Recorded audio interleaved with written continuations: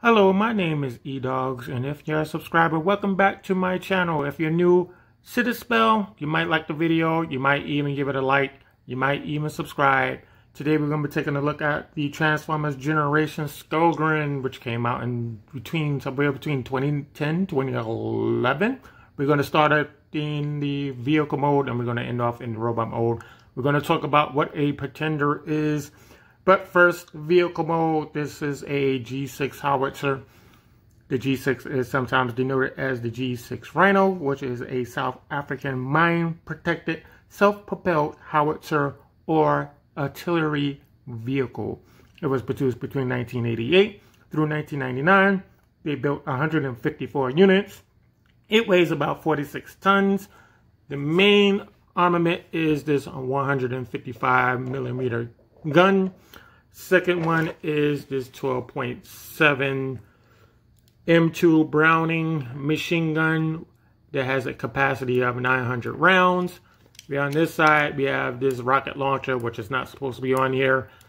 Uh, on this side, and the only thing that separates this from the real thing is this is a half track, which is half truck, half tank, where the real one had two giant tires like a bulldozer would normally have on either side.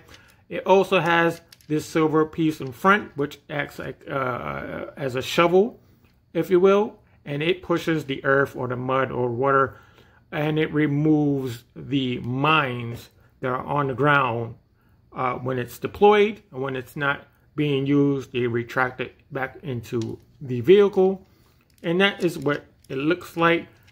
Top speed is 55 miles an hour.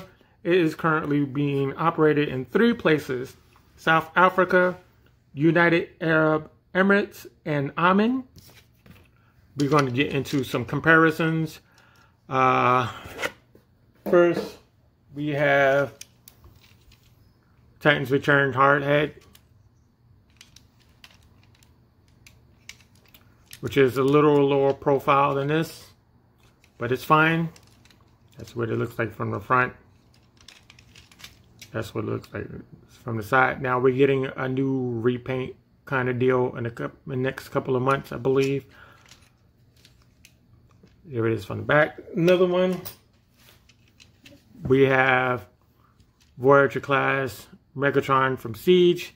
The only difference between these two guys is that there's no elevation in the main gun. But they do both have the 360 degrees in the turret. We'll fix this later.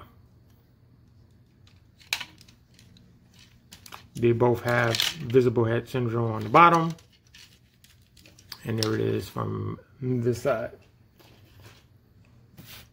So now we're going to go into the robot mode. And what you do is you remove these weapons.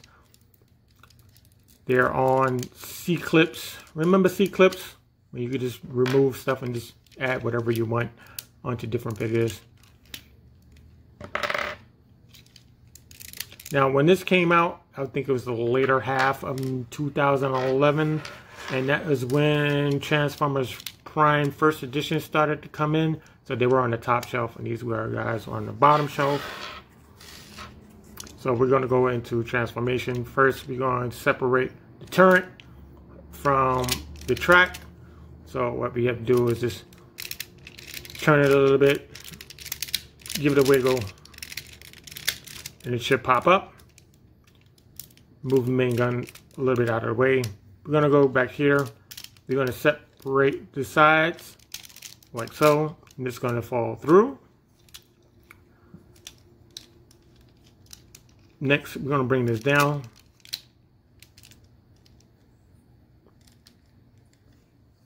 Bring this out like that bring this out like that.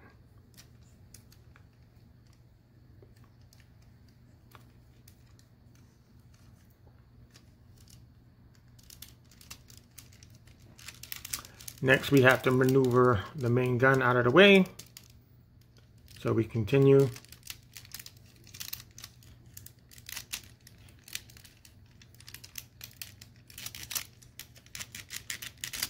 We'll come back to that while we're here, we can take these burgundy things on the heel, on the knees, bring them out like so. And what we want to do next is bring the leg down, like so, like that. Bring this piece up on the thigh. Concentrate on this little square thing here. Push in, brings out the heel spur. Sometimes they'll bring out the foot as well. That's fine. It's, take this door, close it. You have a Lego done. Same thing on the other side. If it's not tabbed in, just untab it from this black piece. And you simply just bring it down. Push this burgundy thing against here. You want to focus on this square back here. Brings out the heel spur. If you keep moving, it should bring out the foot. Then you take this door and you close it. Like so. Move this up. Close this up. Next, we want to separate the arms from the outer uh, half track, which I forgot to mention. But we have these four wheels and we have the three wheels on behind it. And the three wheels are connected to the outer sleeve of the forearm. So all we have to do is go behind here and you just separate it like so. You can focus on these wheels. You separate it. Next, you want to unplug it from this piece right here. And you want to simply rotate it like so.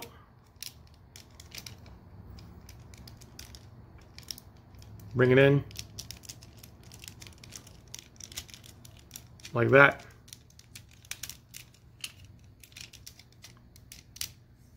Like so. We leave it at that for, for now. Same thing on the side. Just unpeg it from the side, rotate it up. And this is the best way to do it so that these pieces won't pop off. So just just slide this past. Be alright. Now, what you can do here is you can just simply rotate this back. Now, before you do that, let's back up real quick. You have to move this wheel inside underneath the uh, underneath the uh, driver's seat or the driver's cab. Bring those down. Same thing on the other side. Make sure that's in. You rotate rotate that around. Bring that around.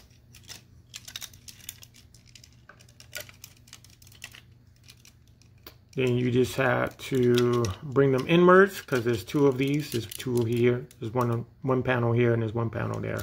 They're on opposite side. So you just bring them inwards. You want to peg them together.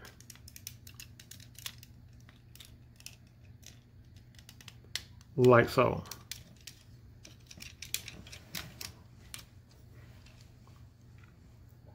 Take this piece, bring it down. Take this piece, bring it down. You want uh, to manage the arms so that they're facing you.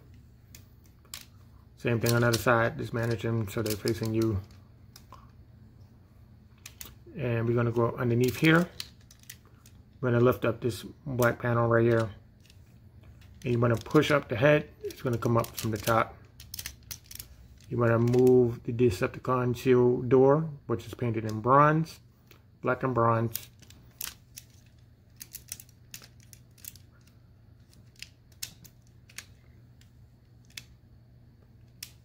Just push that down. And there you go. Next, we have to plug this piece into that piece.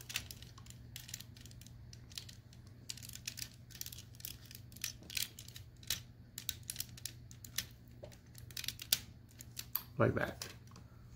And there you have your Skullgrin in robot mode. We're going to add all his accessories last because of the ball joints. They're not sized properly. You may need to use um, nail hardener, nail polish hardener, or floor wax for the ankles and the waist.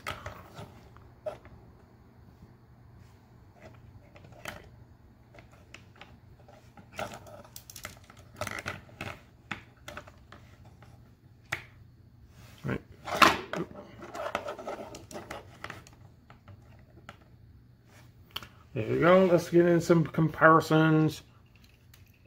We have Bumblebee. We have our special guest, Chrome Dome.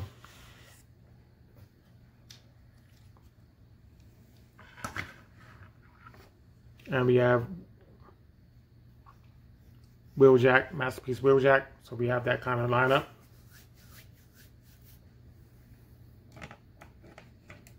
Now, to explain the Pretenders,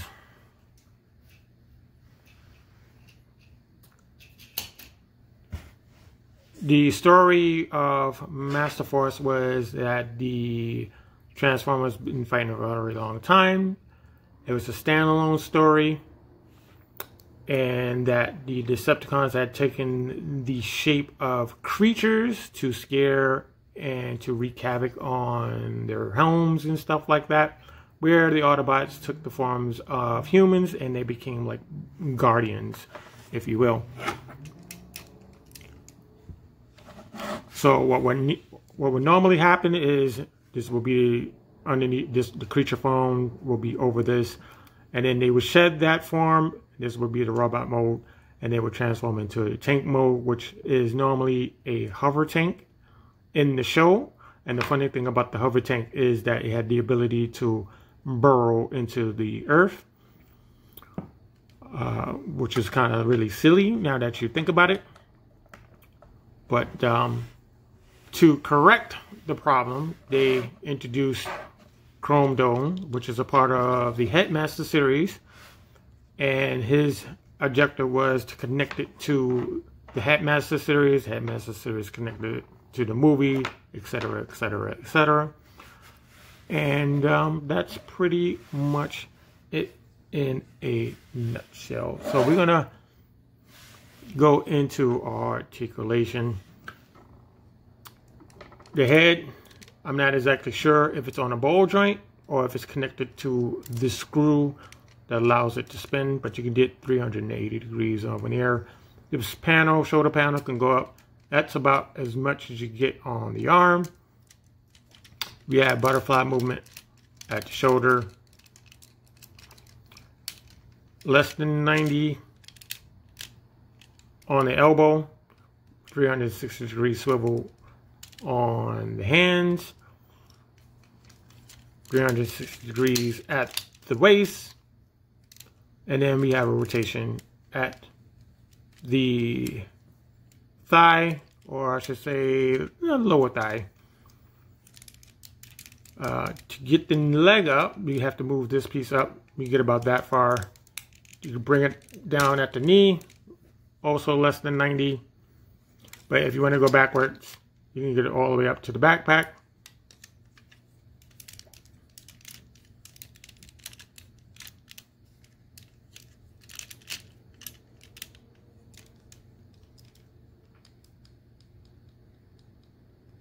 And then a little bit of wiggle room on the feet.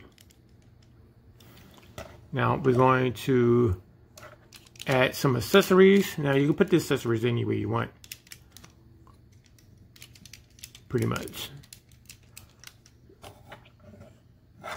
So we're going to get our machine gun. And we're going to clip it up here.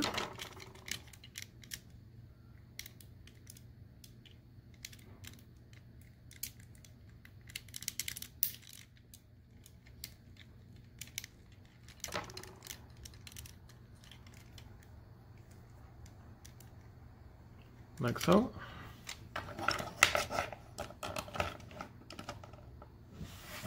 We'll fix that. Stick it. Oops. Now I'm not sure why they didn't use ratchets for the elbows, I mean the ankles and the waist. We just have to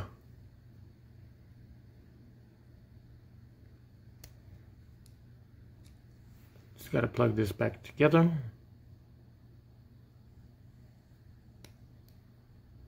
Like so.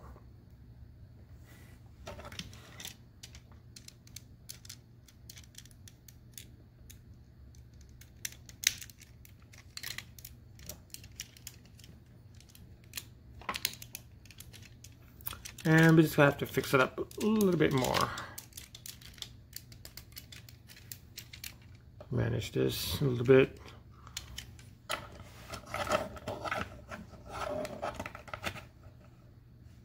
Now his axe, or his pickaxe I should say,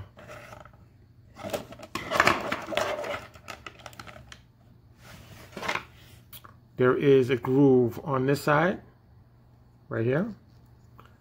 And they simply, his hands have these little protrusions in it, so it grips it better. So I like to put them in both his hands.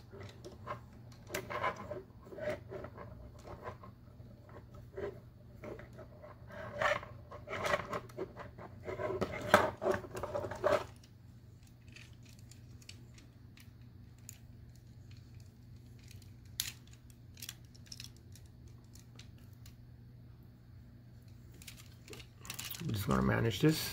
Put this on the other side.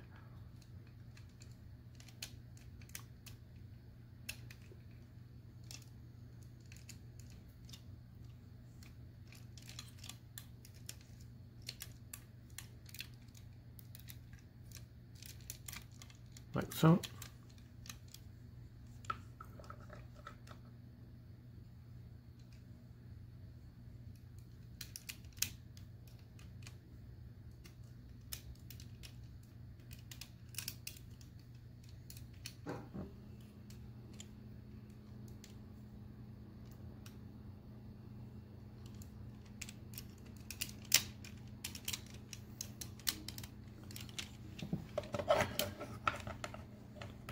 And this is normally how I have them posed. Have them looking over to the left.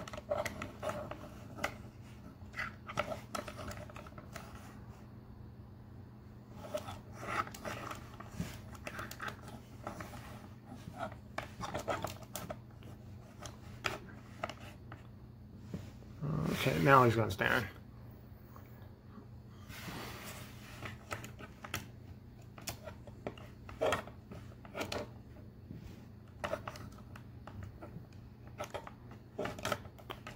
And that is due to the loose ball joints. It's crazy.